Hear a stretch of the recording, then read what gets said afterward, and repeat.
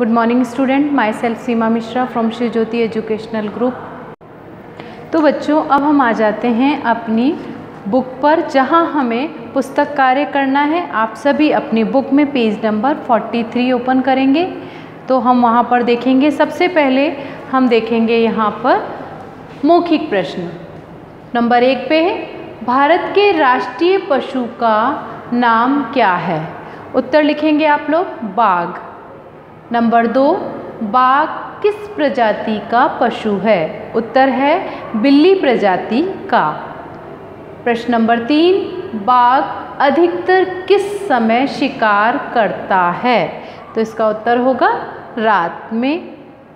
प्रश्न नंबर चार, शिकार को चीरने फाड़ने में बाघ के कौन से अंग सहायक होते हैं? यानी कौन से अंग सहायता करते हैं जिससे वो जो भी शिकार कर रहा है, उसे अच्छे से चीर फाड़ सकता है? पंजे और दांत, क्योंकि पंजे उसके जो नाखून होते हैं, काफ़ी नुकीले होते हैं और दांत भी बड़े पैने होते हैं। प्रश्न नंबर पाँच, भारत सरकार ने बाघ को कैसा पशु घोषित किया है? तो वो है संरक्षित, यानी उसे सुरक्षा दी गई है, संरक्षित बाघ परियोजना में कौन से नेशनल पार्क शामिल हैं? तो नंबर एक पे है Jim Corbett, Bandhavgarh Ranthambore national park. ये किसमें शामिल हैं? ये नेशनल पार्क में शामिल है। आगे आ जाते हैं बच्चों, हम पेज नंबर 44 पर, जहाँ हमें दिए गए हैं प्रश्न, सही उत्तर पर सही का निशान लगाइए। तो आप सभी यहाँ ऑप्शन यानी कि विकल्प दिए गए हैं तो हम देख रहे हैं क, बाघ कैसा पशु है? यहाँ तीन विकल्प दिए गए हैं, शाकाहारी, मांसाहारी, सर्वभक्षी, यानी कैसा पशु है? सही आंसर है मांसाहारी। तो मांसाहारी पे हमने राइट का निशान लगाया। ख, किस सरकारी परियोजना में बाघ को संरक्षण दिया जा रहा है? तो वो है बाघ परियोजना। प्रश्न नंबर ग, छोटी आयु में बाघ के बच्चे कैसे दिखाई पड़ते हैं? तो यहाँ हम देख रहे हैं विकल्प में बिल्ली जैसे, बंदर जैसे, भेड़िए जैसे। तो सही आंसर है इसका बिल्ली जैसे। कैसे दिखाई देते हैं? जैसे बिल्ली के बच्चे होते हैं छोटे, वैसे ही बाघ के बच्चे जब छोटे होते हैं, वो बिल्ली के जैसे दिखाई देते हैं। घ अठारहवीं शताब्दी में एशिया के लगभग कितने भाग में बाघ पाया जाता था? तो आ, न, विकल्प है आधे भाग में एक चौथाई भाग में तीन चौथाई भाग में तो सही उत्तर है आधे भाग में। प्रश्न नंबर दो देखते हैं बच्चों। हाँ या नहीं में उत्तर दीजिए। तो यहाँ देख रहे हैं हम क बाघ भारत का राष्ट्रीय पशु है। ये तो हम सबको पता है तो यहाँ हम लिखेंगे हाँ ख बाघ के शरीर की बनावट और चाल भेड़िए जैसी होती है। नहीं, उसकी जो बनावट है वो किस तरीके से धारीदार बनी हुई होती है? ग, भाग कभी बाघ कभी कभी हाथियों के झुंड पर भी आक्रमण कर देता है। हाँ बड़े सारे हाथी, कितने बड़े होते हैं हाथी, लेकिन वो उसके विशाल का शरीर को देखकर भी नहीं डरता और उनके झुंड पर भी आक्रमण कर देता है। घ, बाघ अपने शिकार पर धीरे से वार कर देता है। नहीं, वो धीरे से नहीं, बहुत तेज़ी से वार करता है। आगे देखते हैं बच्चों हम। तो अब हम आ जाते हैं बच्चों आंतरिक प्रश्न पर। तो आप सभी ये आंतरिक प्रश्न अपनी बुक में नोट डाउन करेंगे। प्रश्न नंबर एक है, बाघ के नाखून कैसे होते हैं? पेज नंबर 41 जो आपकी बुक के अंदर पेज नंबर 41 दिया है, वहाँ आप इन प्रश्नों को लिखेंगे, उत्तर अत्यधिक पहने, और इस वर्क को हमें कॉपी वर्क में भी करना है। प्रश्न नंबर दो, बाघ दूर से सूंघ कर क्या अनुभव कर लेता है? पेज नंबर 41 पे ही है ये भी। तो उत्तर है अपने शिकार का।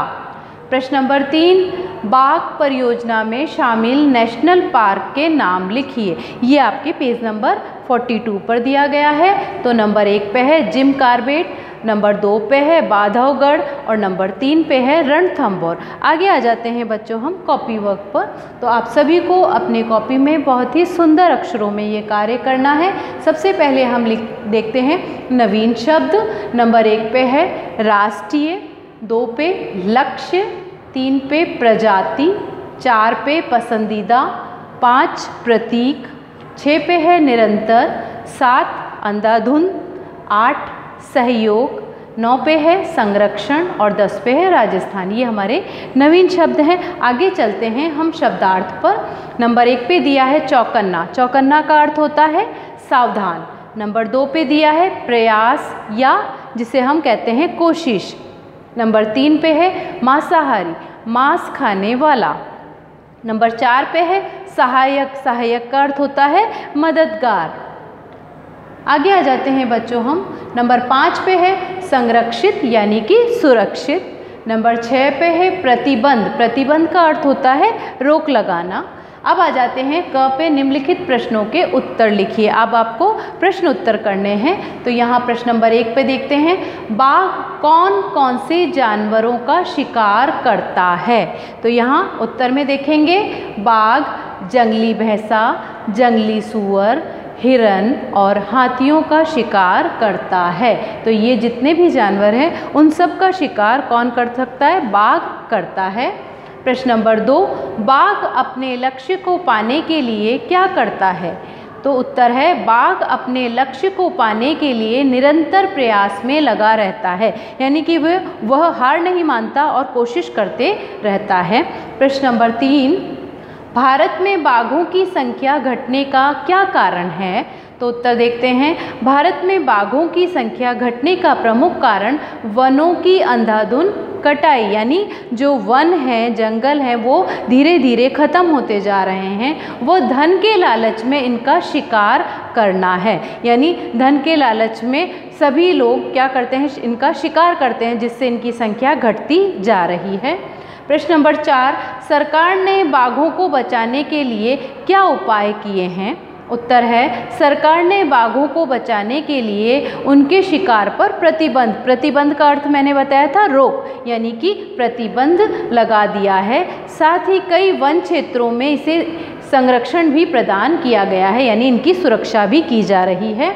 आगे आ जाते हैं, बच्चों हम शब्द शब्द, वाक्य प्रयोग पर।